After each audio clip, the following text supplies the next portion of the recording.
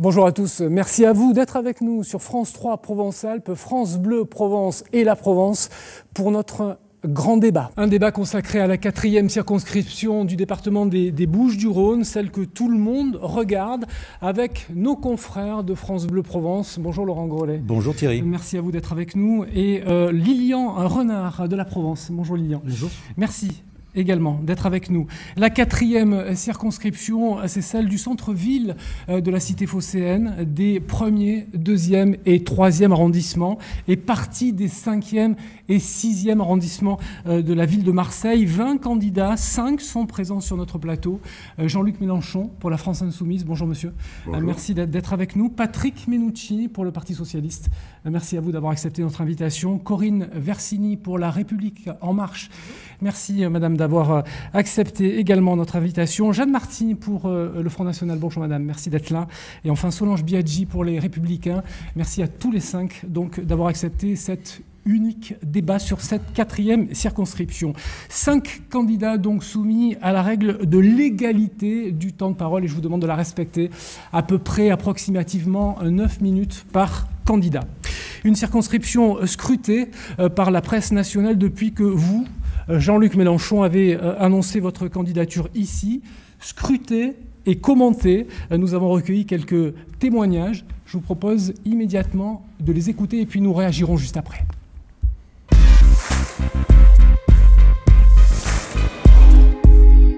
Que pensez-vous du parachutage de Mélenchon En soi, j'en pense pas grand-chose. Après, j'aime bien l'idée de me dire qu'on puisse être partout chez soi. Donc voilà, ça me pose pas de, de questions particulières ou de problèmes euh, en particulier. Un discours qui est intéressant, mais aussi populiste que les autres, quoi, en fait. Hein. Je crois qu'il profite des circonstances et des de la situation, et je pense, je ne suis pas certain qu'il s'occupera vraiment bien de notre circonscription s'il est élu. Ça, c'est mon point de vue, euh, voilà, qui n'engage que moi. Là, j'aurais qu'un mot, opportuniste. Il a calculé l'endroit où il avait euh, le plus de chances d'être élu. C'est pas très honorable. Tant mieux parce que c'est une personne qui met la priorité sur la culture et ça je pense que c'est important aussi.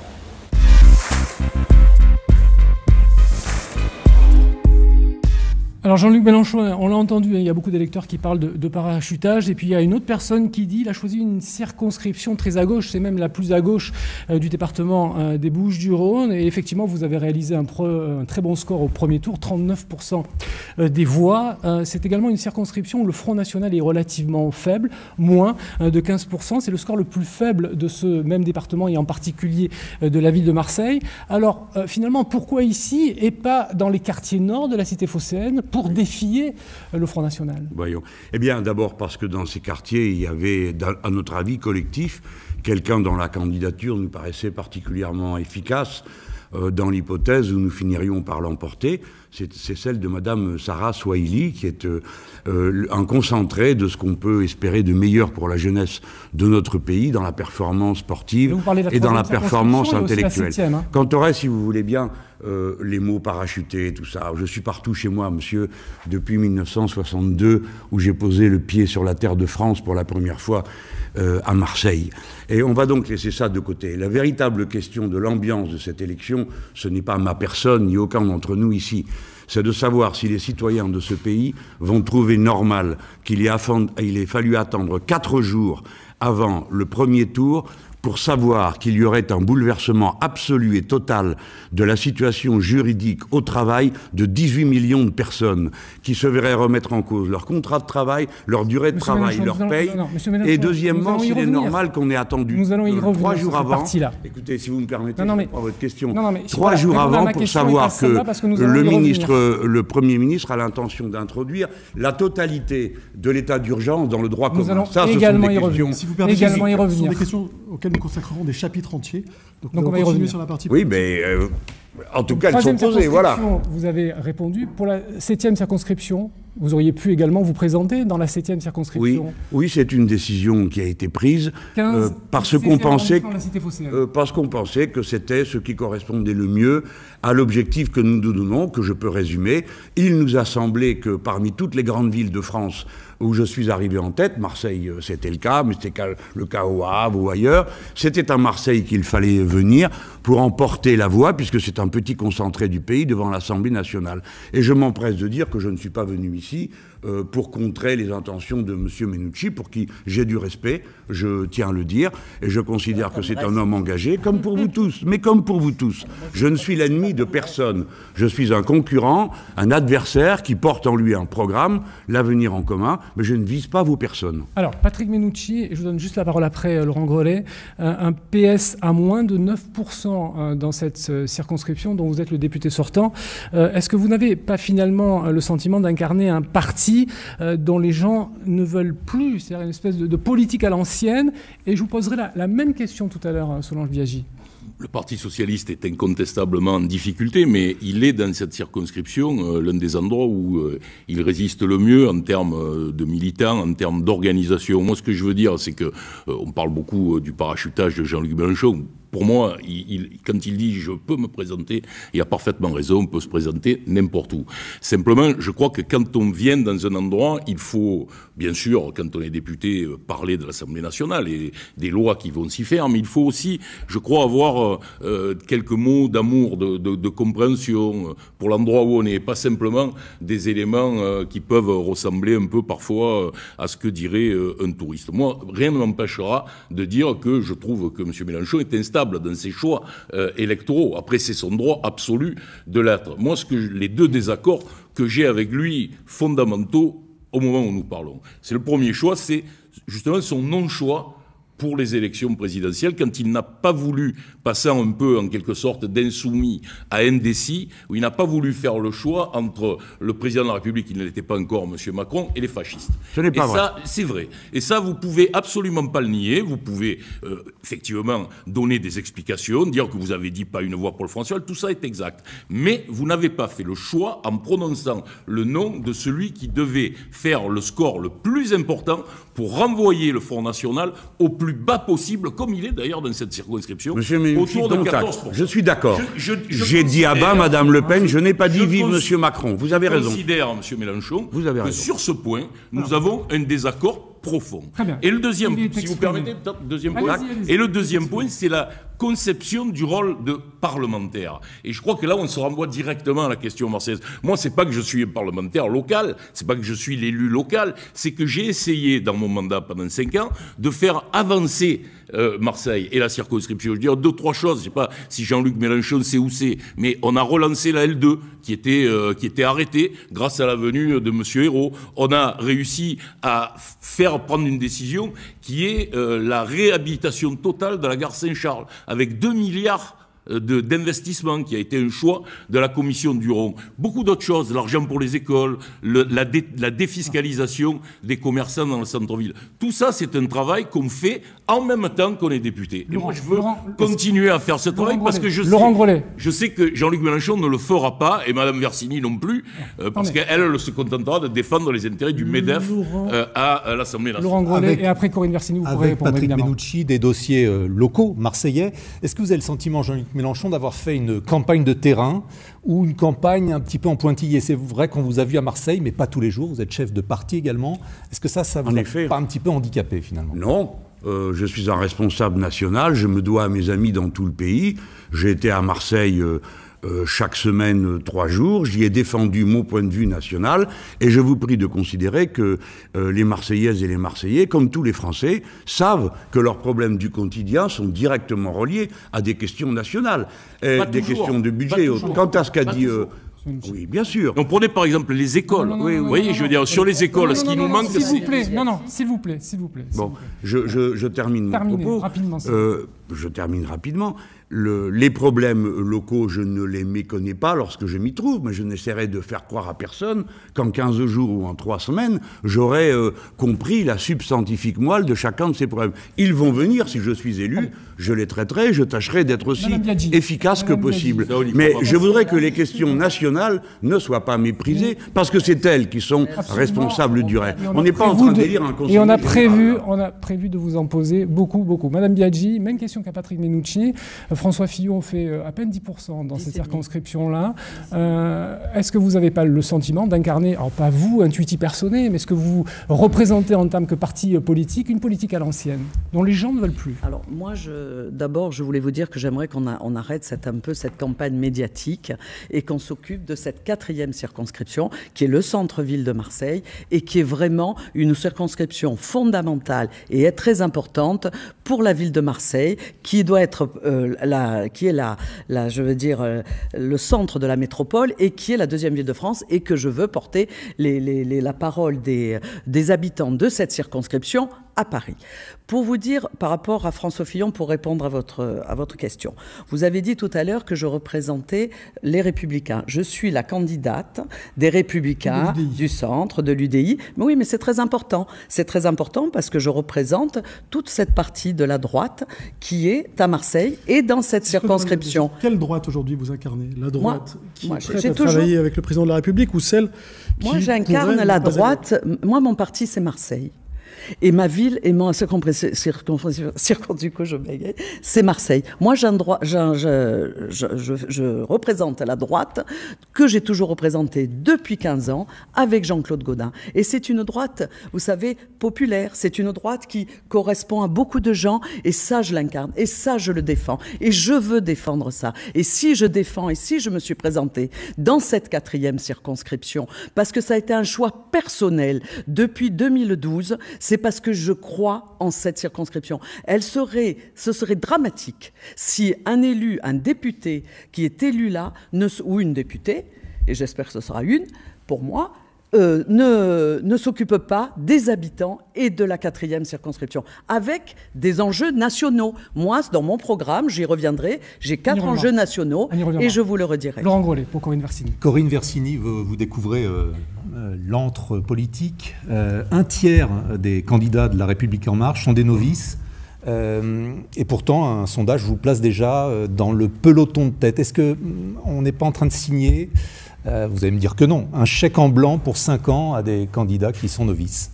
Novices en politique, parce que moi, ça fait 40 ans que je travaille quand même, donc je tenais à le rappeler. Moi, je me suis présentée sur Marseille parce que j'aime la ville de Marseille et ça m'agace un petit peu qu'on prenne tout le temps Marseille comme un laboratoire. Marseille, c'est une ville unique, c'est pas un laboratoire, on est là pour travailler.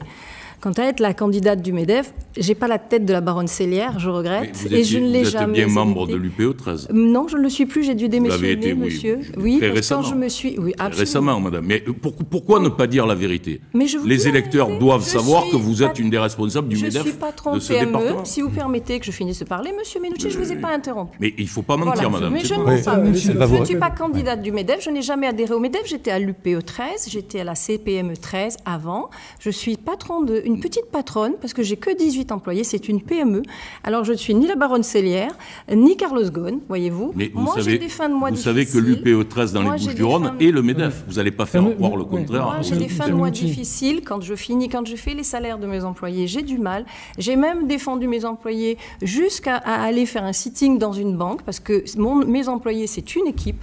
Nous sommes tous ensemble et, et, je vis ce que vivent à la fois les commerçants et les, les artisans de Marseille tous les jours parce qu'ils ont, euh, ont du mal à faire leur charge, ils ont du mal à, faire leur salaire. Et moi, je vis ça. Donc, je me considère absolument pas comme un grand patron. Et si j'ai adhéré à une confédération syndicale patronale, j'ai été déléguée syndicale avant, parce que j'étais salariée, j'étais déléguée syndicale, et après j'ai été dans une confédération patronale, parce que je considère que l'union fait la force. Oui, autant dire la vérité, c'est si, Mais je l'ai toujours dit. Mais non, vous avez dit que vous n'étiez pas membre du MEDEF, et maintenant vous voulez dire que vous... Monsieur Minucci, on, va... si vous ne connaissez pas les arcanes du MEDEF... Si, je les connais parfaitement, madame. Ah bah oui, mais Je connais même tous les fonds qui on va entendre, On va entendre... Donc, si je peux finir, j'ai toujours défendu mes salariés, et j'ai essayé de défendre, en fait, de développer l'économie locale parce que je veux défendre mon territoire. Donc avant même d'être engagé en politique, je travaillais déjà sur le territoire pour défendre le territoire et bâtir une nouvelle filière parce qu'il y a des filières économiques qui apparaissent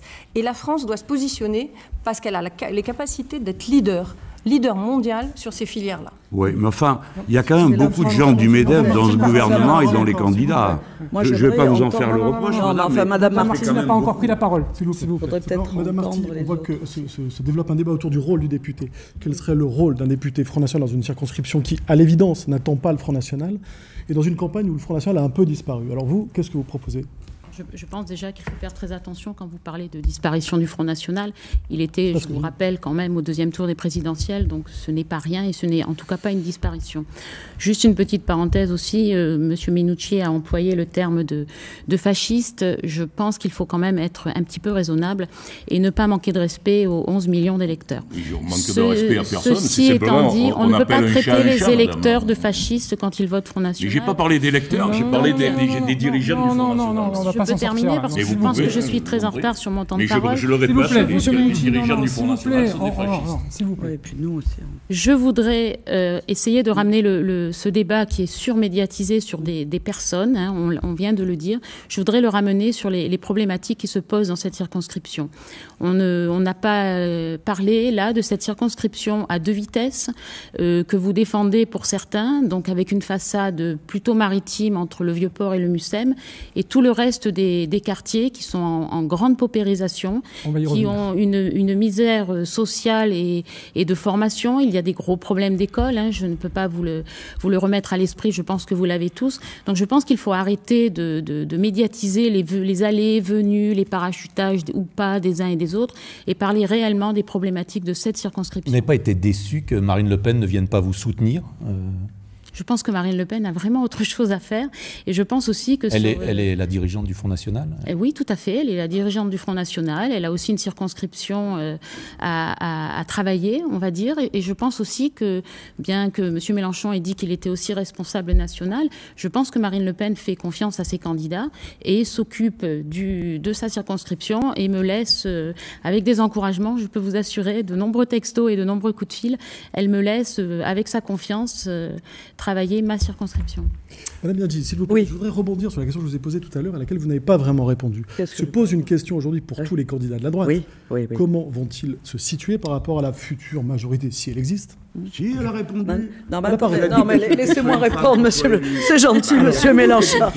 Madame Biaggi. Madame Biaggi, ne répondez pas, monsieur Mélenchon, à faire le C'est gentil, monsieur Mélenchon. Alors, vous avez un défenseur inattendu. Vous avez répondu, c'est macroniste. Voilà. Alors, êtes-vous macroniste? Non, monsieur Mélenchon, je ne suis, pas macroniste. je suis une droite. Je suis une droite, je veux dire, de, de Marseille. Mon parti, je vous l'ai dit, c'est Marseille. Monsieur Fillon a fait un score qui est de 10 et demi, mais monsieur Fillon il a fait dans cette circonscription pas un, très bon score. Moi, ce que je sais, c'est que aux dernières élections municipales, je fais 25%, et aux dernières élections euh, sur en 2012, euh, c'est vrai que je connaissais à peine ce secteur et je, suis arrivée, je faisais presque 15%. Donc moi, je représente cette droite marseillaise qui a toujours été une droite, celle de Bruno avec Gilles, qui dit pas d'accord avec, le gouvernement, celle de Bruno Gilles ou celle de Renaud Muselier qui ah va soutenir un candidat de la République ah en marche dans le département des, Alpes-Maritimes. François Barouin il est venu en plus dans ma circonscription, il est venu dans mon, dans, comment ça s'appelle, dans ma, euh, dans ma permanence, et je suis vraiment derrière lui. Et ce que je voulais redire par rapport au parachutage et par rapport à cette circonscription, toujours pareil, qui est vraiment fondamentale pour cette, euh, pour cette ville de Marseille.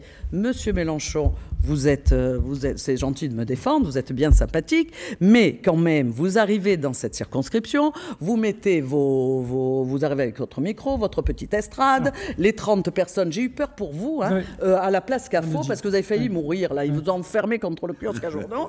Voilà. Mais vous n'avez pas du tout le sentiment, ce que revivent les gens sur le secteur. Vous avez, moi, nous, tous les jours, les gens nous connaissent, les gens euh, nous, nous parlent, les gens nous. Voilà, mais non, ils ne me parlent pas un peu trop. Je connais leurs problématiques. et c'est vraiment l'essence le, même de la ville de Marseille. Madame Marty, quand vous faites campagne dans cette circonscription-là, où visiblement le, Front National a, du mal, hein, c'est factuel, il suffit de regarder les chiffres, qu'est-ce que les, gens vous, vous, disent et quel, message finalement vous essayez de leur faire passer? Les, gens, c'est vrai que nous avons eu beaucoup de rencontres euh, à travers euh, des, visites de marché, à travers des, des réunions publiques où j'ai été étonnée moi-même de, la bonne prise, entre guillemets, de, nos, idées, les, gens me, disent qu'il faut un peu plus s'occuper de leurs problématiques, de leur quotidien. nous avons beaucoup dans cette circonscription, je, le rappelle, qui contient les, arrondissements classés en, communes les, plus paupérisés de France. Donc je, pense que nous avons un, message de bon sens, sans aucun doute, à porter, loin peut-être des, des, grandes préoccupations, certes nationales, et qu'il faut euh, rejoindre, bien sûr, euh, mais nous, nous, avons surtout des, des voies de, de proximité, j'allais dire. Je pense que dans cette circonscription, plus qu'ailleurs, les, les, hommes politiques ne renouent aucune relation de confiance avec leurs Alors, électeurs. Justement, vous avez évoqué le terme de, de précarité, et, et vous le savez, hein, c'est une circonscription, cette quatrième, euh, qui se caractérise par une population dont les revenus sont les plus faibles de la cité phocéenne et un taux de chômage qui, par endroit, il y a des poches euh, qui dépassent les 60% euh, de chômeurs. Sur ce sujet, écoutons quelques réactions et évidemment, nous réagirons juste après. Écoutons-les.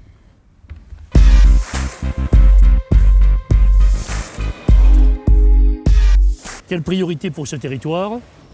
La propreté, la sécurité et surtout la reconnaissance entre l'ensemble des communautés qui doivent vivre de manière équitable et équilibrée sur le territoire marseillais. Le troisième arrondissement de Marseille, c'est, me semble-t-il, le, le, quartier le plus pauvre d'Europe, euh, donc avec une population qui est extrêmement euh, en difficulté. Euh, donc il ne faut pas des discours, il faut des, de l'action. Le vivre ensemble, voilà. On a quand même un sentiment que les politiques publiques ici ne sont pas très... Euh, sont pas très présentes. Quoi. Voilà. Il y a un peu un sentiment d'abandon.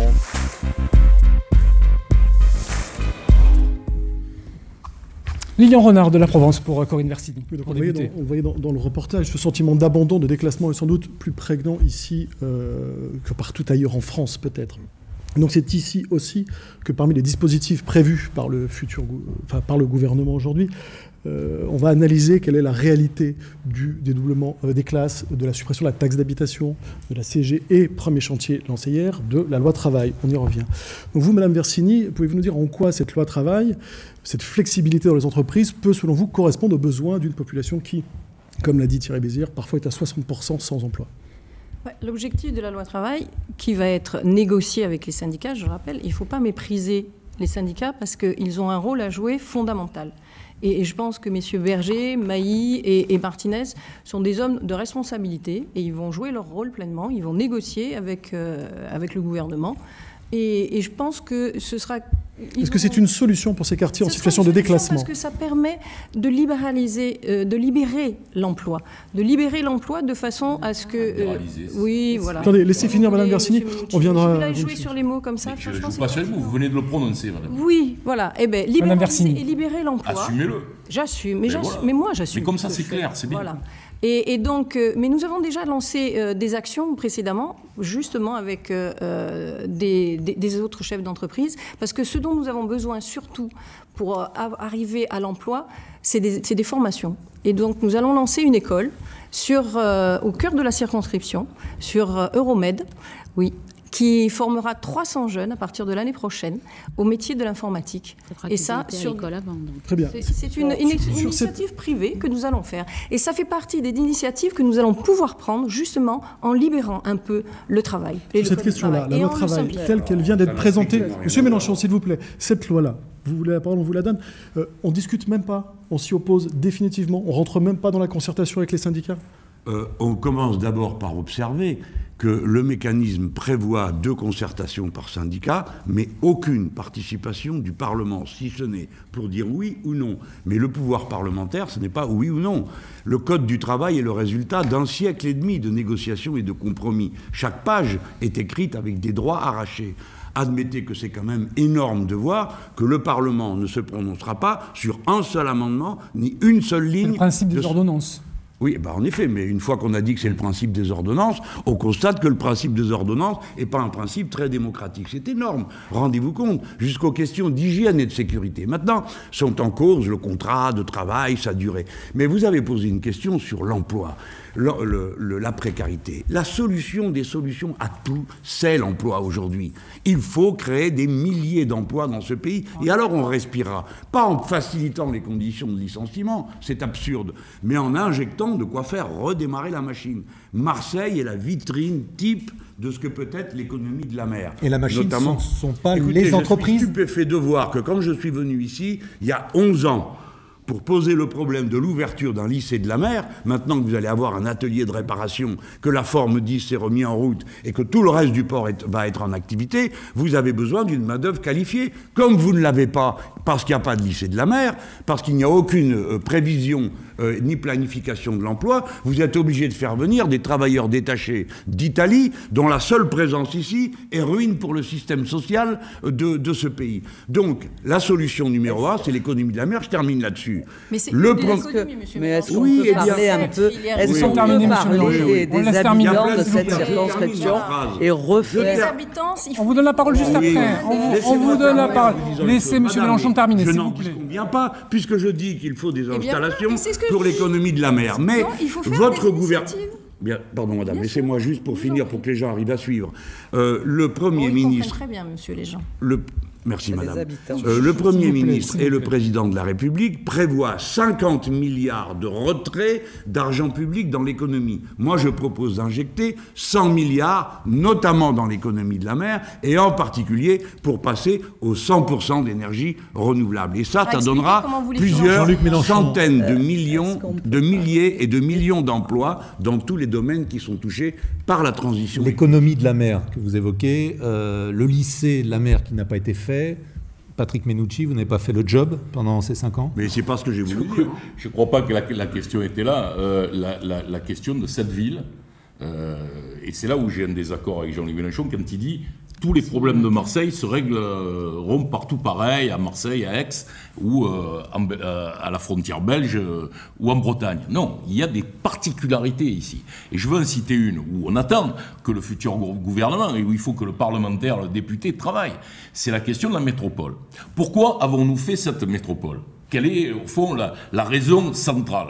C'est parce que nous avons cinq bassins d'emploi dans les Bouches-du-Rhône qui ne sont pas reliés entre eux. Et aujourd'hui, quand on habite à la Belle de Mai, on ne peut pas aller travailler à Fos-sur-Mer, ou alors on prend une voiture tous les jours, et ah très rapidement, et très rapidement, euh, on peut y aller en voiture, madame. Ah oui, mais c'est très compliqué. Mais c'est très compliqué. Donc on a tous les bassins d'emploi qui sont euh, dispersés. Donc l'objectif pour l'emploi, peut-être je vais vous faire sourire, mais la première chose à faire ici pour l'emploi, c'est d'assurer des transports qui permettent aux salariés d'Aubagne d'aller à Salon de Provence, de Marseille d'aller à Fos-sur-Mer, c'est-à-dire de permettre, comme ce que vous connaissez très bien dans la banlieue parisienne, la possibilité de rentrer dans une, vous et les autres, dans une station de métro et de se retrouver une heure après devant une entreprise. Ça, c'est un élément décisif. C'est pour ça que moi, j'ai beaucoup contribué à la création de la métropole et que comme député, je souhaite être à l'Assemblée nationale pour pouvoir poursuivre et notamment pour unir le département et la métropole. J'ai remarqué d'ailleurs que c'était une des positions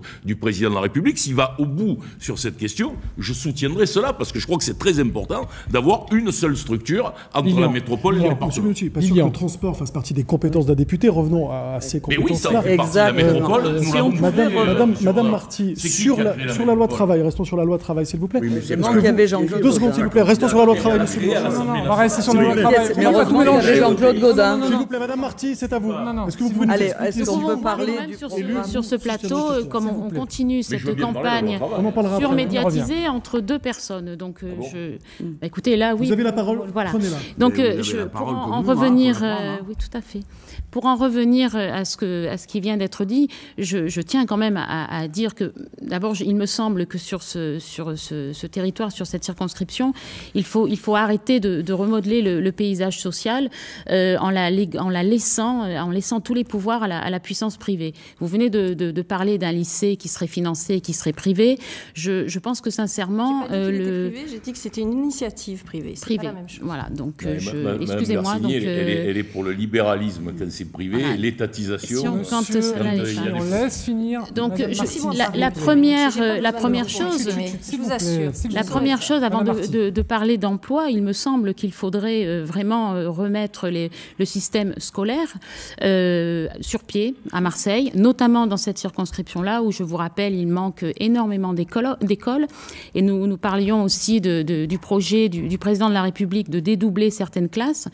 L'in- L'interrogation, sur le papier, ça peut être une très bonne, une très bonne chose. Après, je, je me demande, comme par exemple l'école du boulevard national ou l'école dans la rue Félix Piat, comment fait-on pour dédoubler des classes où je rappelle que les enfants sont déjà euh, à 40, 50 par classe Non, ou dans non, la plupart. pas, Non, pas. monsieur Bon, Menucci. 27, 28 Dans par la- classe, c'est le Non, ce n'est pas vrai. Mais dans madame, la vous n'allez pas plupart. dire qu'il y a 40 enfants par Monsieur classe. Menucci, madame. je peux garder la Mais parole Vous pouvez dire ce que vous voulez, mais ça, c'est pas vrai. Il n'y a pas 40 enfants par classe. Monsieur madame. S'il vous plaît. Mais on peut faire. Dans euh, l'école maternelle, des dans, intox, dans la si vous voulez. plupart, euh, dans la plupart des écoles maternelles, il faut quand même savoir qu'il il manque euh, cruellement de dortoirs. C'est-à-dire que les jeunes enfants ne peuvent Voilà. pas dormir parce que les, les locaux sont, sont pris pour, y, pour y faire classe. Donc c'est cette problématique ensuite de- de- du manque de scolarisation dans ces, dans ces arrondissements-là, on la retrouve évidemment au niveau des manques de formation.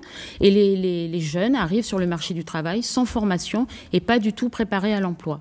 Donc je pense que pour créer de l'emploi, il faut arrêter peut-être de voir, bien sûr, au niveau national, les lois doivent être mises en place. Je suis d'accord et c'est le rôle d'un député. Mais peut-être aussi, quand on, tous les programmes de rénovation urbaine ou d'urbanisation de, ces secteurs-là, il faudrait exiger, et donc là, peut-être il y a des lois à faire, exiger que, toutes ces réalisations incluent dedans des écoles, des groupes scolaires. Lilian, pour Madame Versini. Attendez, mais Je- je deux, vous pourrais êtes parler. avec mon idée d'économie de la mer. Moi, je l'ai lu dans le programme de Madame Le Pen, elle me l'a repris. Et toi aussi, tu étais pour. Oui, oui. Donc on est d'accord. Mais c'est est ça la bonne idée, Voilà. les amis. Parce que c'est comme ça qu'on entraîne tout le reste. Oui, mais- 100 milliards, il faut mettre dans le Mais avant d'arriver à ce lycée, c'est vrai qu'il faut Voilà, Monsieur scolaires. Madame Versini et Madame Biaggi, juste après. Non, non, non, non, non. Oui, mais tout est important. C'est très important. Toutes les questions sont importantes et on aimerait pouvoir. Madame Monsieur Lilian Renard Et et Madame de- Biaggi juste Voilà. après. De toute façon, ne vous inquiétez pas, vous On parlerez autant que les autres. Peut-être pour poursuivre sur, l'école, euh, le projet de dédoubler effectivement les classes en zone prioritaire, ça pourrait concerner une- plusieurs dizaines de classes dans cette circonscription-là. 40. 70 même. Il y a- 70, et c'est tout le 40, troisième, arrondissement. Comment gère-t-on effectivement le, déficit de locaux? Comment gère-t-on la pénurie, la difficulté, l'insalubrité parfois des écoles marseillaises qui sont engagées dans un plan de rénovation? Et qu'est-ce qu'un vous inquiétez pas, j'ai des- réponses. accélérer, il va falloir accélérer ce plan de rénovation. Je pense que les Marseillais sont des gens courageux, qui vont se relever les manches avec nous, et il faut dynamiser toutes les initiatives. Moi, je ne suis pas d'accord quand on dit qu'on attend tout de l'État et que ça, tout doit Qu'est-ce que ça veut dire dynamiser les initiatives, alors Madame Pour Versini les écoles, non, monsieur, c'est- non, c'est pas très drôle. Non, parce que franchement, les gens souffrent de, de, de, de ce déficit d'école. Oui, mais Et- vous et pouvez pas pense- leur répondre qu'ils vont Non, se retrousser les non, manches non, et mais ils construire vont les écoles, pas non du Pas tout. du mais monde non plus. justement, on va dynamiser cette, cette équipe parce qu'on sait qu'ici, on sait qu'ici justement, il y a des problématiques d'école et tout le monde en est au courant. Et croyez-moi que j'en parle souvent au national parce qu'ils savent très bien que c'est ici qu'il va falloir qu'on démarre ce genre de choses. Et on va le Je faire comprends sur pas, deux ans. moi. Comment vous allez faire On va il, faut, le fa- il faut faire. Non, mais Ah. vous allez mettre Il y a de l'argent. 15 milliards. Voilà. Vous allez mettre. Voilà. Il y a Voilà. 15 milliards Parce C'est pas la- mairie qui, doit payer. de Oui, mais parce que moi, je veux des sous. Eh bien oui, vous avez raison de sous. vouloir Je des veux sous, des madame. sous. Non, non, non, non, non, non, on n'a pas entendu sur. Madame Biaggi. Madame Versini termine. Attendez. Madame Versini, vous terminez. Vous terminez. Et après, Solange Biaggi, qu'on n'a pas entendu sur cette thématique-là, s'il vous plaît. Non, non, Patrick Lenucci. Non, non, non, s'il président vous plaît. Macron, il y a 15 milliards pour développer les compétences au niveau national. Il y aura une partie forcément qui sera attribuée à Marseille, bien Qu'est-ce que entendu. ça veut dire développer Alors. les compétences? Parce qu'il n'y a pas que les primaires. Tout au long de la vie, il Non, va falloir ma- former ma- les madame, gens. non, mais si, si Madame, vous avez du non, mal mais à c'est comprendre, très important pour particulier. Non, vous habitez à Aix, peut-être ça ne vous intéresse Non, pas, non, non, on est là. arrêtez. Et moi, j'ai problème mon dans les fils. écoles. je Vous habitez sur la la Je m'excuse, ma- oui, j'habite sur la circonscription, Oui, madame. sûr. 35 rue Sainte. Ah, vous avez un problème Bon. Ah. Voilà. Madame, Vous madame, savez même pas où c'est la rue Sainte. vous savez même Non. pas où c'est la rue Sainte. Et mon fils va à l'école dans la circonscription. Alors, s'il vous plaît, un peu de respect. Et alors, moi, je vous pose une aussi. question, mais j'ai du respect. Je vous pose une question. Comment vous financez les 40 à 70 classes qui sont nécessaires avec la proposition que je soutiens que fait Alors, le président monsieur, de la République monsieur Menucci, avec une non, non, municipalité qui c'est- n'a pas les moyens. Monsieur Menucci, monsieur. Menucci, on est trois pour essayer de mener le débat. Non, mais j'ai- non, non, mais, pourrait... S'il vous plaît, laissez-nous mener le débat. Euh, Voilà. Euh, Non, mais c'est pas les Laurent. Grolet pour.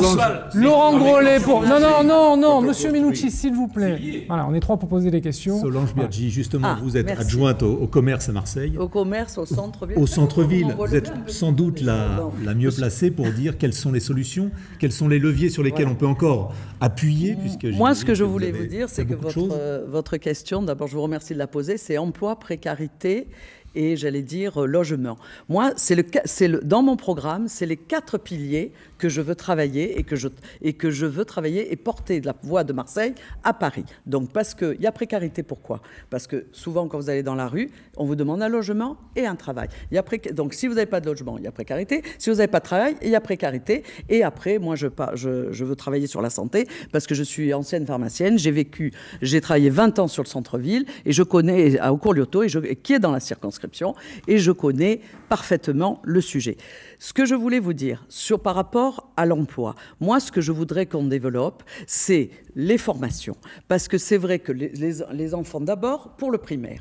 Pour le primaire, moi aussi, je trouve que la loi de M. Macron, s'il applique et qui dit qu'il faut euh, dédoubler les classes, surtout dans nos secteurs, et nous, ça concerne 70 places, 70 écoles, monsieur, euh, je- sur, mais dans le troisième arrondissement, le nom- euh, so- 70 classes, pardon. Il n'y a pas Euh, le ça- troisième. Voilà, mais ça concerne quand même le troisième, elles sont toutes à 100% dans ce, dans ce dispositif-là. Il faut que l'État, à ce moment-là, donne de l'argent à la, à, la, à la ville de Marseille. Et je suis contente de l'entendre de la voix de Madame Versini, qui est euh, dans, la, dans En Marche. Par contre, Monsieur, monsieur Menucci, votre loi qui a tué les enfants du, du 3e arrondissement, Ah, que vous avez c'est sous... Non, mais c'est vrai, c'est vrai. Demandez avec Monsieur Payon, quand vous êtes, vous avez soutenu Vincent Payon et vous avez soutenu ces rythmes scolaires qui ont, conti- qui ont, qui ont coûté 23 millions d'euros par an à la ville de Marseille et surtout... On commence à les changer, Madame. Voilà, mais heureusement, Donc, on va faire des heureusement. Et moi, et moi, ça,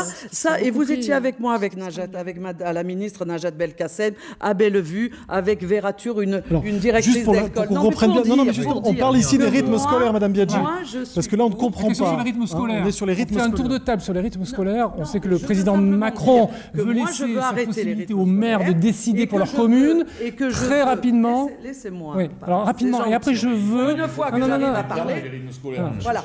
Et je veux. Et Non, mais je veux qu'on parle de Je ça. confonds pas du tout. Ce que je sais, c'est que dans mon programme, l'éducation, c'est prioritaire et c'est fondamental, surtout pour le primaire. Président- Et que je veux que, Rapidement. si je suis député, je défendrai ce dossier et j'irai chercher l'argent à Paris. tour de table, Parce que s'il vous plaît, l'important, c'est Marseille et c'est notre Votre, circonscription. votre point Et de faire- vue voilà. sur les rythmes scolaires très rapidement. Après, on passe à une troisième et dernière thématique, euh, qui est la thématique Non, de mais la moi, je finir sur le sur, logement. sur les sur les rythmes scolaires. Le président Macron a dit qu'il laisserait. Voilà, c'est plus le sujet, on était sur la possibilité euh, euh, de- la compétence des, maires. On parle des écoles. Est-ce qu'il faut revoir ou laisser le système tel qu'il est à Marseille, en particulier les rythmes scolaires? Jean-Luc Mélenchon, très rapidement, s'il vous plaît.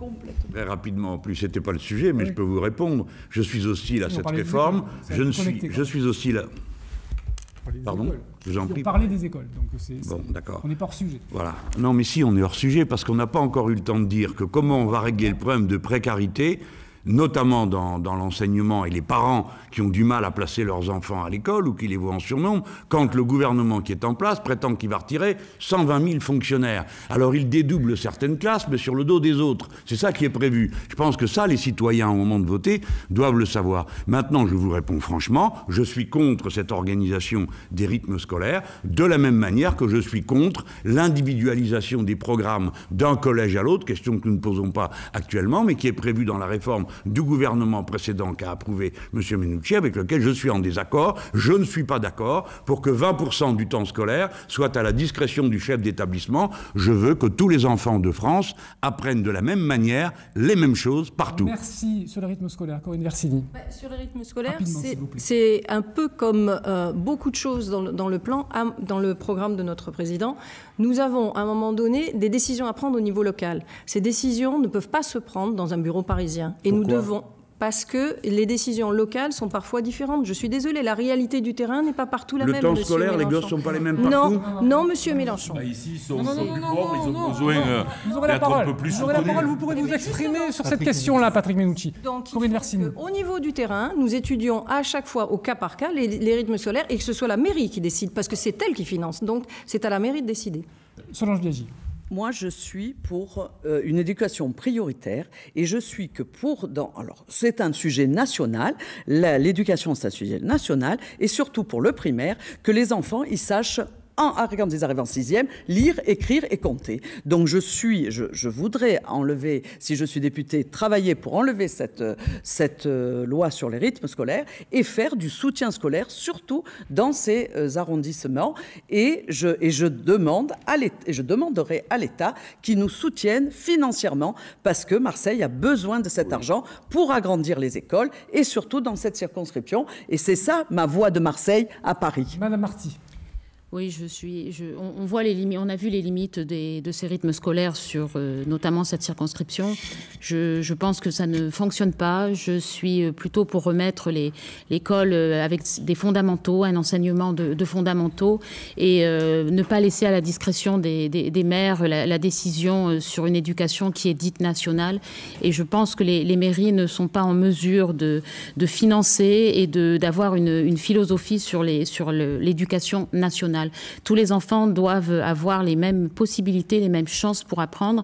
Et l'on voit que dans nos arrondissements, euh, sur cette circo, ils n'ont pas les mêmes chances. Justement, dans ces cas-là, il faut plus les soutenir. Alors, le but, oui, c'est ça. mais pas en laissant donc aux maires de- d'essayer de, de voir et de mettre des financements. Patrick.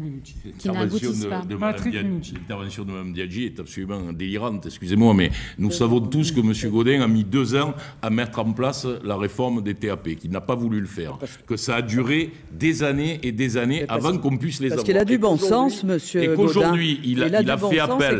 Aujourd'hui, il a fait appel à euh, des associations dont beaucoup sont sérieuses et d'autres le sont un peu moins. Et il y a donc euh, un désaccord parce que dans le sud de la ville, les choses se passent plutôt bien. Et puis dès qu'on va dans les endroits comme chez nous, où il y a de la pauvreté, où il y a de la difficulté, ça se passe mais pas très bien. Minucci, quand, vous êtes le député quand de oui, mais le député, il est pour rien, c'est la mairie, madame. Mais non, mais, mais pour aller chercher, de, la pour aller chercher la thématique à aborder, la question, Nous la question de la sécurité. C'est pour ça que je disais tout à l'heure. C'est pour ça que je disais tout à l'heure à Jean-Luc Mélenchon, quand il a dit l'autre jour, la question de l'éducation, c'est la même ici et ailleurs. Il voit là dans le débat, il, il le touche, que c'est pas exactement la même chose. Parce que que vous ayez le maire de Fosse-sur-Mer ou le maire de Salon, je prends justement des, des, des, des, des- positions politiques différentes, qui appliquent avec euh, vraiment une grande volonté l'éducation, parce que pour eux c'est essentiel. Alors les choses se passent bien.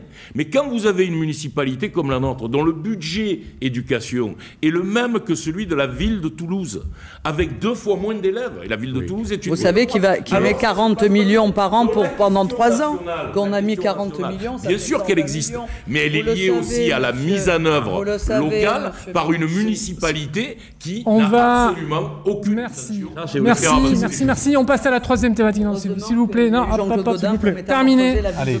Alors, ce n'est pas la, ce n'est pas la circonscription Ah, ou le thème de la sécurité. C'est pas les municipales, bon Monsieur sang. Mais normal, moi je salue les Il a même- autorités locales. salut républicain, Patrick Minucci. C'est le salut républicain. C'est dommage parce que ça aurait été une chose que vous auriez pas- pu oh, on va passer à la troisième thématique.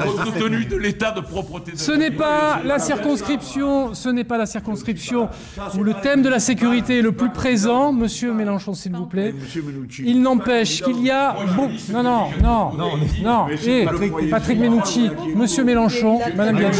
S'il vous plaît, s'il vous plaît. Qu'est-ce qu'il faut faire Très aimablement Non. et très courtoisement. Est-ce qu'on peut reprendre la main sur le débat, s'il vous plaît On vous entend pas. hein. Merci. S'il vous plaît, il nous reste une thématique importante Il à aborder, reste c'est celle de la 17 minutes sécurité.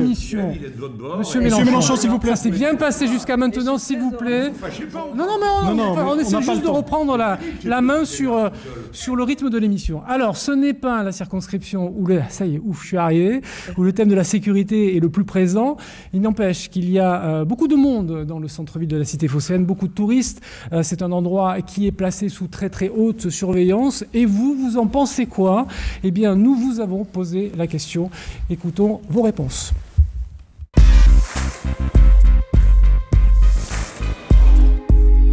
A-t-il des problèmes de sécurité Si oui, lesquels Il n'y a pas d'insécurité, il n'y a pas voilà, une demande de renaissance. Non, non, il y a juste peut-être beaucoup d'incivisme. Ça, ça oui, avec euh, les motos sur les trottoirs, des choses comme ça, qui sont eux aussi des problèmes d'insécurité. C'est plus de l'éducation qu'il faudrait et donnerait, donner plus d'argent à l'éducation plutôt qu'à la sécurité. Il vaut mieux euh, ouvrir des écoles qu'ouvrir des prisons. Moins d'incivilité et davantage de propreté. La police de proximité, euh, pourquoi pas? Moi, restaurer un peu du dialogue, euh, je pense que ça peut être une bonne, euh, une bonne chose. Après, être fliqué de partout, euh, non. Moi, J'ai jamais eu de problème en tout cas ici. Et il faut faire attention comme partout. Et c'est juste que Marseille, c'est parfois un stéréotype, euh, le danger en fait.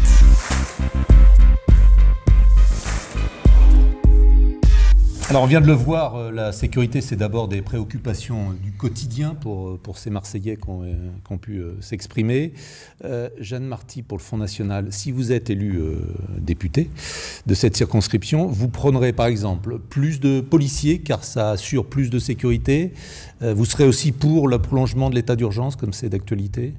Alors vous savez déjà que mon mouvement, et à travers ma, voix, euh, c'est tolérance zéro pour euh, tous les, délits. Voilà.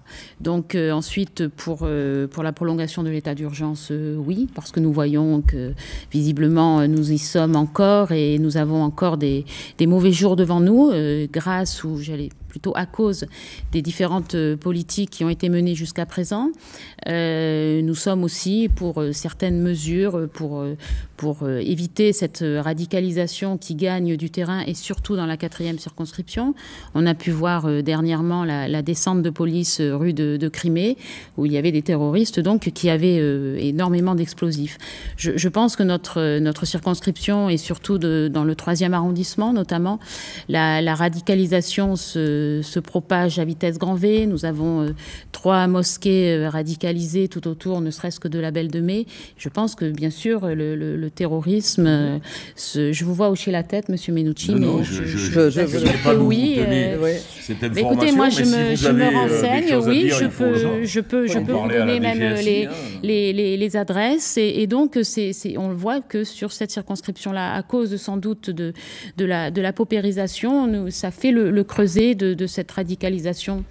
Jean-Luc Mélenchon, euh, dubitatif, c'est le moins qu'on puisse dire Oui. Euh, Plus euh, de policiers. Bon, on va tout, bien sûr, tout le monde va dire dire, plus de policiers. qui Mais vous aussi dire- Oui, il en faut. On a dit 10 000, je crois qu'on est à peu près tous calés sur le même chiffre. Mais franchement, il vaudrait mieux qu'on profite de cette circonstance pour approfondir le regard. Premièrement, l'état d'urgence ne sert que aux alentours de l'événement. Euh, sinon, euh, ça ne sert à rien dans la lutte. Euh, pour la sécurité, les spécialistes le disent tous. Et surtout, ce qui serait dramatique, c'est de transformer les dispositions de l'état d'urgence en droit commun, c'est-à-dire la possibilité pour le préfet lui-même de décider une perquisition, etc., etc. Ce que prévoit le gouvernement Macron. Mais encore une fois, même je laisse ça de côté. Nous avons des règles, il faut aller au point faible. Là où nous sommes faibles encore, sans incriminer qui que ce soit. Première règle, rester solidaire en toutes circonstances et ne pas taper sur le pouvoir dans cette lutte-là, quel qu'il soit, qu'il soit de droite, de gauche, peu importe. On doit rester solidaire autour des services. Deuxièmement, euh, donc ne pas se diviser, ne pas diviser la population. Ça, ce seraient nos points faibles. Et surtout, ne pas céder à l'ennemi en diminuant les libertés publiques. J'ai plus que deux points, ça va aller vite. Allons au point faible. Notre point faible, c'est le trafic des armes il doit être puni beaucoup plus lourdement. Là où c'est 5 ans, je propose 10 ans. Deuxièmement, c'est la douane. La douane joue un rôle central et tout le monde l'oublie dans ce pays. La douane ne contrôle qu'un colis sur 1000 dans les ports français. Donc il faut renforcer la douane pour couper les circuits de, de trafic des armes et renforcer la police financière pour couper le trafic financier qui est en amont de l'action terroriste. Voilà ce que j'ai à dire et je crois que c'est assez complet pour que tout le monde le comprenne. Sur ces questions-là, Madame Versini, effectivement, Jean-Luc Mélenchon vient de le dire à l'instant, le gouvernement prévoit une transposition des règles de l'état d'urgence dans le droit commun, c'est-à-dire la possibilité donnée au quotidien au préfet de procéder à des perquisitions, d'assigner des gens à résidence. Est-ce que c'est une bonne chose? Mais ça dépend du délit, c'est juste euh, ça. Nous, ce qu'on veut, c'est avoir plus de police, police de proximité. Parce Non, que on la n'est pas dans la police... police de proximité, là. Nous sommes sur Non, des- sur le terrorisme, il y a une taxe force. Et dans ce cas-là, je pense qu'il faut effectivement parfois prendre des décisions rapides. Et ça, Sans juge. Quand vous avez des problèmes de terrorisme, je pense qu'il y a des, des mesures d'urgence. Et après, le juge est, est- est apte à continuer une garde à vue ou pas. Mais ça, Ah c'est normal. Quand une perquisition a lieu, madame, elle est faite. Oui, elle le juge antiterroriste, ça existe, c'est la Mais liberté. c'est normal et c'est comme ça qu'il prend des, parfois des, des- des explosifs et c'est comme ça qu'on peut Mais l'état d'urgence est un état d'exception Voilà, c'est qui deviendrait la règle. Mais quand deviendrait la règle ici. terrorisme, c'est toujours un état d'exception. Et malheureusement, le terrorisme est là et effectivement, il faut lutter contre le terrorisme. Bah, les assignations à résidence, elles ont touché surtout des militants syndicalistes et écologistes. 90%. Madame Versini, s'il vous plaît. Voilà. Donc après, euh, il faut laisser la police faire son travail. Je pense qu'on ne peut pas applaudir les policiers quand ils vont au Bataclan et, puis les critiquer quand euh, ils encadrent une manifestation. Ça, c'est clair. Et donc, nous, ce qu'on voudrait développer surtout, c'est la police de proximité, parce que la police de proximité est au courant de tout dans les quartiers. Et c'est dommage qu'elle ait été supprimée par M. Sarkozy. Elle ne faisait pas que jouer au foot. Quand elle a été supprimée, l'année d'après, justement, à Toulouse, dont vous parliez, il y a eu une, une augmentation de 48% des délits. C'est pas normal. Donc Et il vous faut pouvez absolument... trouver les mêmes chiffres euh, là où vous êtes candidate. Mais bien sûr, c'est pareil, mais je ne les ai pas exactement. Comme je veux être précis, que vous Je alliez me vous reprendre. Merci, monsieur Menucci. Donc voilà, il y a eu des, des augmentations des délits partout, de toute De façon. quoi vous parlez, Quand si on ça a vous dérange pas Ouais, exactement, la police parce que de ça- proximité. C'est la, la, la question. Attendez, attendez. Non, non, non. Non, non. Il explique. Alors, Madame Non, oui, non, mais. euh, c'est- Non, voilà. Donc, moi, je pense que de rétablir la police de proximité et d'appliquer toutes les peines et de, de ne pas envoyer en prison pour des petits délits, parce que la prison, c'est l'école des caïds. Il ne faut pas envoyer en prison pour des petits délits, il faut juste appliquer des peines et des amendes. Et là, effectivement, la police aura le droit d'appliquer la peine directement, puisque ce sera une amende, comme on le fait dans le code de la route. Donc, ce sera fait pour les petits délits. Et je trouve que c'est une bonne chose. Et on peut même faire des travaux d'intérêt généraux, parce qu'à ce moment-là, on peut demander à ce que notre ville soit plus propre, finalement, puisque faire un Tout travail d'intérêt général en nettoyant les rues, ce serait quand même une bonne chose, plutôt que d'envoyer des jeunes en prison où ils apprennent à devenir de vrais délinquants. Les temps ont changé, hein, on le voit bien. Euh, Est-ce qu'il faut, par exemple, parmi les mesures euh, sécuritaires, euh, armer systématiquement la police municipale partout en France? Le seul souci, c'est qu'il faut, la for- il faut qu'ils aient la formation adéquate pour manipuler des armes. Parce que quand on manipule une, arme, euh, ça ne se fait pas comme ça. Donc la police nationale est formée pour ça, la police municipale, je ne crois pas. Alors, vous évoquiez à l'instant même la police de sécurité quotidienne que veut créer le président de la République avec des pouvoirs d'amende, Oui. notamment en matière de détention de stupéfiants. Est-ce que Madame Marty, c'est quelque chose, vous, que vous imaginez, ou est-ce que la police n'est pas là pour ça? Si, non, non, je, je, je, je pensais, quand Madame Versini euh, parlait, que les, de ne pas envoyer en prison les, les- des- pour des petits délits, donc on peut peut-être leur taper sur les doigts en disant vous ne recommencerez plus. Je ne pense pas qu'on peut euh, régler la, la- la petite, entre guillemets, délinquance que l'on vit dans cette circonscription au quotidien. Ça devient une, délinquance euh, très agressive. En général, les, les derniers chiffres Donc du les amendes ne suffiraient pas non, c'est 60% des, des- des délits qui sont commis par des mineurs.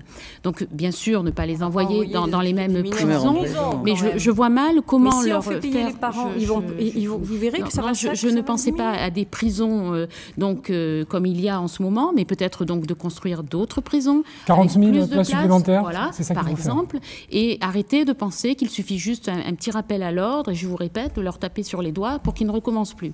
Voilà, parce que c'est le, le- le creuset, on fait là le, le creuset d'une délinquance future où l'on voit des trafics dans, dans, dans, dans nos cités, on voit des trafics se développer, on sait très bien que ces, que ces jeunes-là sont de nouveau dans la rue et qu'ils participent, euh, alors bien souvent contre leur gré au départ, je suis entièrement d'accord, mais qu'ils participent à ces trafics de drogue. Euh, Monsieur Mélenchon parlait tout à l'heure de, de la délinquance financière, etc. Il y a aussi sur euh, les, no- notre, notre circonscription une immense délinquance liée au trafic de drogue. Donc je Alors, ne pense pas que, les, justement. que ce genre de, de, de pénalité suffirait. euh, euh, expulser expulser les trafiquants de drogue de, de- de leurs logements sociaux. hein. Euh, Ça fait partie du. Non, mais je pose la question. Est-ce que vous, non, vous souhaitiez qu'on parle tout à l'heure, euh, quand on a évoqué la Ah, les précarité des, logements. des logements, Les alors on logements. peut parler à la Non, fois de logement et de je- moi, sécurité. je- je- je parlais des vous logements. une solution. Euh, voilà. Je parlais des logements, si vous voulez, les l'insécurité. ouais. logements sociaux. Voilà, l'insécurité pour, pour, pour la sécurité dans, dans ces quartiers, je pense qu'il y a deux poids, deux mesures. Enfin, il y a deux, deux choses. Il y a l'insécurité au quotidien, où là, euh, on peut, euh, j'allais dire, euh, avoir, euh, bon, c'est pas mal, les, les, travaux d'intérêt généraux, on est peut-être, euh, c'est peut-être bien, mais il faut remettre aussi l'éducation civique dans les écoles. Je pense que ça aussi, c'est important, parce que c'est des petits délits. Après, pour les grands trafics, pour les grands trafics, s'il faut avoir une police un peu plus et mettre de l'argent dans la police nationale, et moi aussi je suis pour la police de, proximité, je pense que c'est important. Déjà à Marseille, dans notre, dans notre ville, on a quand même doublé le nombre de policiers municipaux.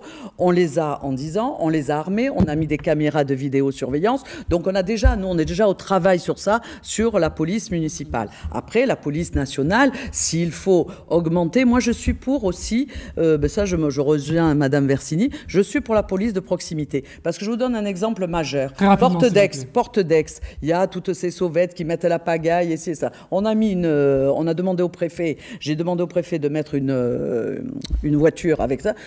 Là, c'est calme et c'est tranquille. Voilà ce que je voulais savoir dire. Et les logements Alors. sociaux, pour vous voulez que je parle sur les logements ou pas? Les logements, c'est important d'en faire. Mignon. Et le Mignon. HLM, c'est pas la fin. Si on a le temps il vous reste une minute à peu près chacun. Euh, on va faire un tour rapide, on va rester sur les problèmes de sécurité.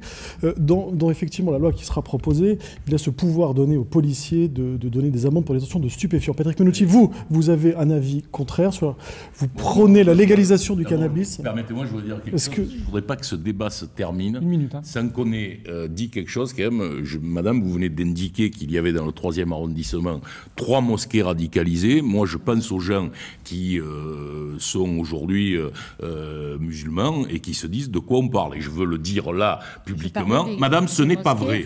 Madame, ce Eh n'est ben, pas vrai. Madame, il non, ce n'est pas vrai. C'est faux.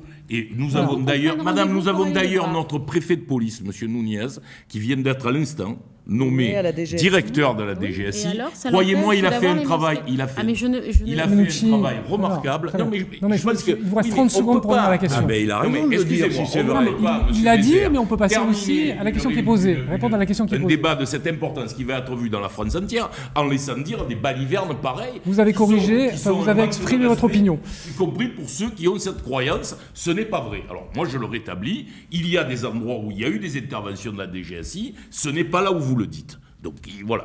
Après sur la question euh, du cannabis, Très rapidement, en 10 secondes. moi, je vous connaissez ma position. Vous je êtes pense que, exprimé, la- la- la- je pense longuement que sur la- ce sujet. les amendes, ce n'est pas une solution. Moi, je suis favorable à un travail de légalisation totale avec un système financier, avec euh, euh, des Madame- agriculteurs. Comme Ça se voit que vous n'avez pas été 20 ans. Madame Versini, Madame Versini sur cette question. Madame, Dans le Non, non, stop. Monsieur Menucci, s'il vous plaît. Voilà, parce qu'il n'y a pas que le Madame Versini sur cette question. Il y a des gens qui font d'autres. Madame choses. Versini, Ah, Monsieur. Menucci. Madame Versini sur cette question et après Monsieur Mélenchon, Madame de Madame non. Rapidement. Sur les questions des amendes? Non, sur la question de la légalisation ou pas du Ah, d'accord. L'allégation, ça, c'est une question, à mon avis, qui est extrêmement 20 secondes. délicate et qu'il va falloir étudier en profondeur parce qu'il y a des pour, il y a des contre. Et je pense qu'il faut vraiment écouter les experts. Il y a des risques de dérive si on légalise et on voit qu'aujourd'hui, euh, la loi n'est pas appliquée. Donc, à un moment donné, c'est clair qu'il va falloir prendre une décision, mais il faut d'abord étudier le dossier vraiment à fond. C'est d'ailleurs ce qu'on demande, l'ouverture d'un Monsieur débat. Dans ce débat-là, Madame nous la légalisation pour ou contre Attendez, moi je veux- Monsieur Mélenchon, on laisse répondre Madame Marty Ah, par oui ou pardon. par non et on revient vous en à prie, madame. Merci. Alors, vous Euh, en tant que, que travailleur social, je vous dis que je suis contre parce que euh, ne serait-ce que la, la première étape, euh, c'est que les, les, les, les, les publics concernés par cette, par cette pratique, euh, lorsqu'il y a la, la loi qui intervient, on peut euh, leur donner une injonction de soins. Et ne serait-ce que pour ça, je pense que dans notre, dans notre système, il faut le garder. Voilà. Il y a 7 Donc, millions je de suis-. Madame. 7 Oui. millions. Madame, non, non, moi, je après suis, Mélenchon. moi, je suis contre la légalisation du cannabis, mais c'est vrai que humainement, parce que moi, je l'ai vécu au quotidien pendant 20 ans dans ma pharmacie, au cours Lyoto, dans une circonscription, dans ce, ce secteur qui est difficile. Et je sais les dégâts que ça euh, fait, surtout sur les enfants de 15 à 22 ans. Après, si vous fumez du cannabis à 30 ans ou 40 ans, tout le monde s'en fout parce que ça, ça n'atteint pas le cerveau. Mais entre 15 et 22 ans, c'est très important. Donc c'est pour ça que je suis contre. Maintenant, travailler avec des experts pour dire comment il faut encadrer les choses, Merci, je Lévy. suis d'accord. Mais Jean-Luc Mélenchon, le moment, Jean-Luc je- Mélenchon. Merci. Ça fait Oui, partie des euh, thèmes. bon, que attendez, vous je vais pourriez, abuser- euh, Partager je- avec Patrick Menucci. Oui, vous êtes je vais, abuser, je vais abuser de la situation. On ne terminera pas un débat sur la délinquance sans dire que la première délinquance qui coûte le plus à tout ce pays, c'est les tricheurs et les fraudeurs à l'impôt qui nous escroquent 85 milliards par an. Et si tout le monde payait sa cotisation, il n'y aurait pas de déficit dans le budget de l'État. Je veux quand même le rappeler. Ils sont sans doute Donc pas le très nombreux dans cette renforcement. circonscription. Ah ouais, ouais, mais pardon Ils sont sans doute pas très nombreux dans cette circonscription. sans doute, monsieur ne sont-ils pas nombreux parce qu'ils n'ont pas besoin d'être nombreux pour voler beaucoup. Et ce n'est pas le problème de là. Merci beaucoup. Top, top, top. Non, mais c'est pas points, seulement ça. C'est pas seulement Terminé. ça. C'est que Terminé. revenir à la- qui paye pas Terminé. Pop, pop. Non, mais C'est fini. Nous fini. parlons C'est de fini. de la très C'est fini. Monsieur parle pas. Mélenchon. Je parle de la fraude Non, non, fiscale. avez- non, non, que vous ce monsieur me dit, ils sont pas nombreux dans la circonscription. Bon, voilà. Il y aurait Merci beaucoup. apprendre que C'est terminé. L'émission est terminée. Merci à tous les cinq d'avoir accepté notre invitation pour euh, ce débat exclusif France Bleu Provence, La Provence et France 3 Provençal. Merci Lilian. Merci. Merci Laurent. Merci Thierry. Voilà, euh, je vous rappelle qu'il y a 20 candidats qui se présentent euh, donc euh, sur euh, cette quatrième circonscription du département des, des Bouches-du-Rhône, une circonscription euh, qui, je vous le rappelle, concerne euh, le centre-ville de la cité phocéenne, euh, les premiers deux et troisième arrondissements, et puis euh, partie euh, des cinquième et euh, sixième arrondissements de la cité phocéenne. Merci à vous euh, de nous avoir euh, suivis. On se retrouvera pour un autre débat entre deux tours, évidemment. Mais je vous rappelle que le premier tour euh, des élections législatives, c'est dimanche prochain. Allez voter. Merci à tous les cinq. Merci beaucoup.